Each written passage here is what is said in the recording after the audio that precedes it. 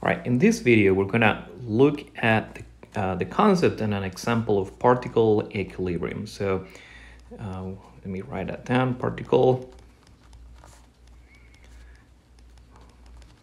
equilibrium. And uh, important to say that this is within the context of statics. When you look at dynamics, you're gonna see that you can also have the dynamic equilibrium, but that, that will be for another course. All right, so the, the main idea when you have a particle is that the particle is going to be in equilibrium if the sum of the forces is equal to zero. That's it. So that's, that's all the concepts that we're gonna study in this video. Um, easy, right? Now, to better demonstrate that, uh, let me do an example because I think, I think this is better explained through an example.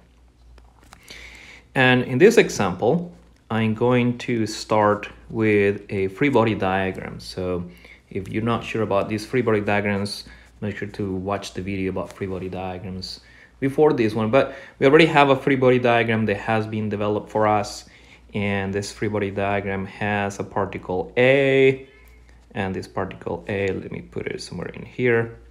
Uh, we have our x-axis going in this direction we have our y-axis going in this direction and then we have a force F2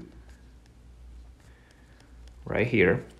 And the magnitude of that force F2 is 5 kilonewtons. We have a force F3 going in this direction.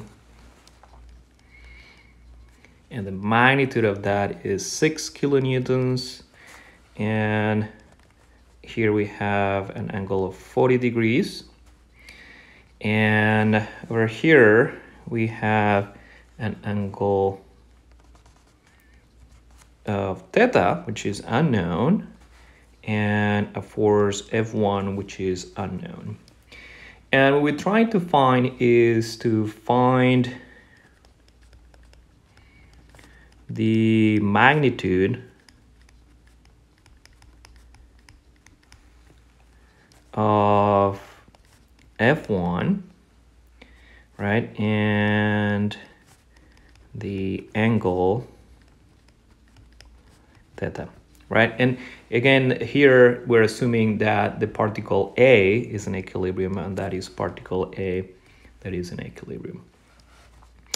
All right so very good. So the first thing and you know and, and the nice thing about this type of problems is it really connects the rest of the concepts that we're seeing uh, through the semester. So the first thing that I want to do is to take all of these forces and I got write those in Cartesian vector form. Um, so um, let me start with force F1. Well, I don't know anything about force F1. So what I can say is that the force F1 in Cartesian vector form is going to be an f1x, which I don't know, i, plus f1y, j. Now you might be asking yourself, shouldn't that be negative because the force is going negative? Well, yeah, you can put a negative, but what I'm gonna do is I'm gonna leave it, leave it as positive, and then I'm, I'm going to expect my answer for those f1x and fyi, uh, fyy f1y to be negative. Again, the reason is because this f1 is going in negative uh, compared to the x and the y-axis, right? It's going in this direction. So I will expect those two uh, to be negative. Very good. Okay, let's look at um, this uh, force F2. So what do we do with that force F2? Well, force F2, just by inspecting it, we can say that that is 5J in kilonewtons, right? Very good. And force 3, now we have that angle of 40 degrees. Uh, so we can say that this F3 is going to be equal to, let's see, the magnitude is 6 and the angle is 40 degrees. So it's going to be 6 cosine of 40 i minus 6 sine of 40 J. And this is also in kilonewtons. that will give me a value of 4.596i minus 3.857j again in kilonewtons. Very good. So I have my forces in Cartesian vector form. Now what I need to do is write my equations of equilibrium, or my equation of equilibrium. So for equilibrium,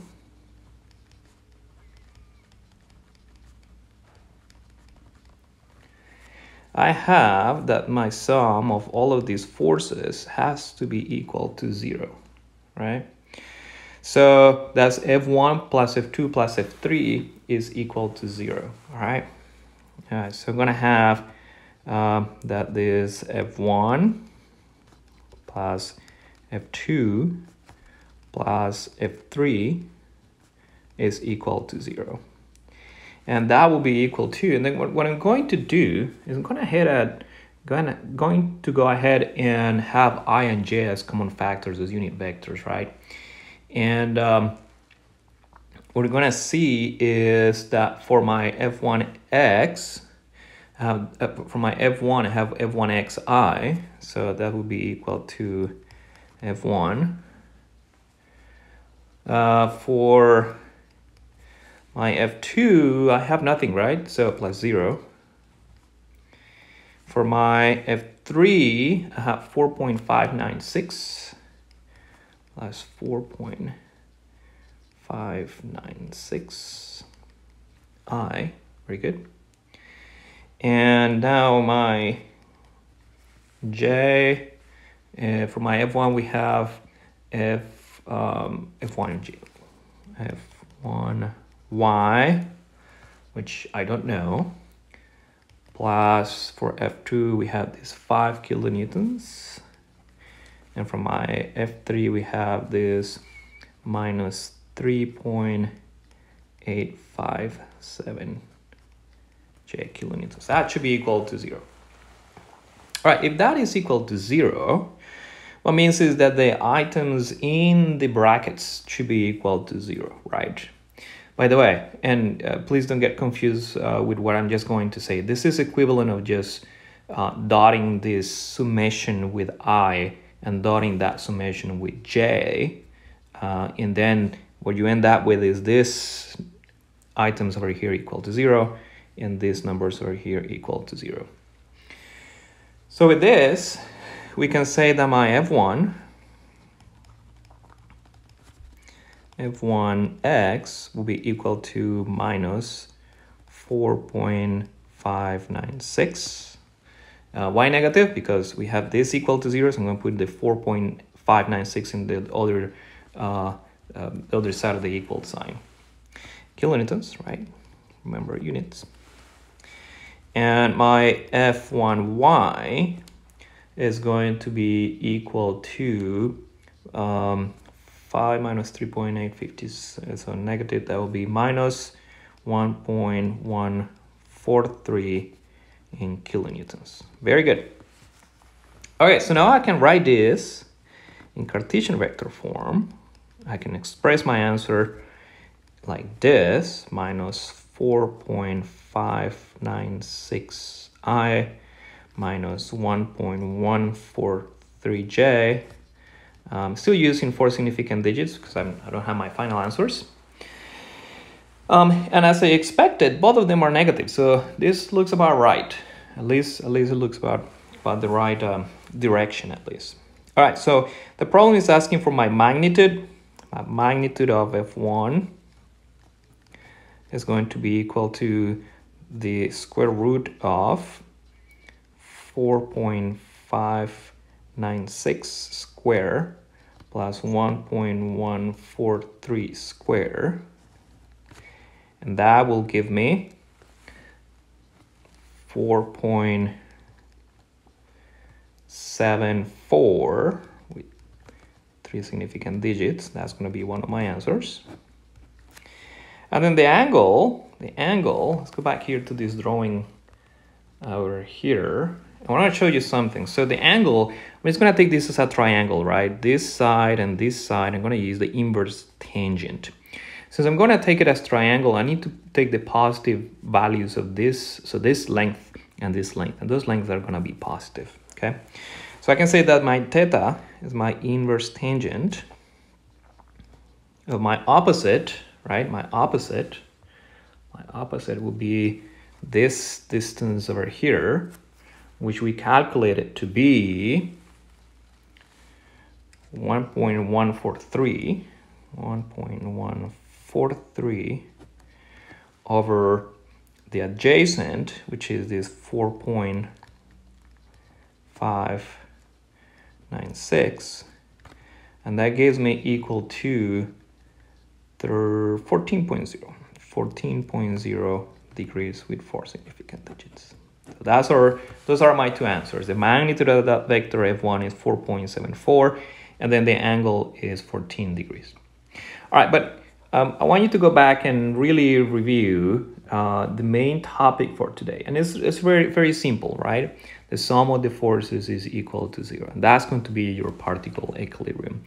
Of course, uh, one thing that I uh, need to emphasize here is the fact that we started with the free body diagram and this creation of this free body di diagram is extremely important.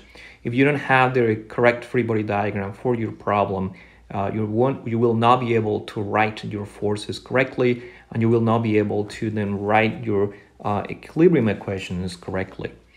Uh, so just pay attention uh, to that free body diagram.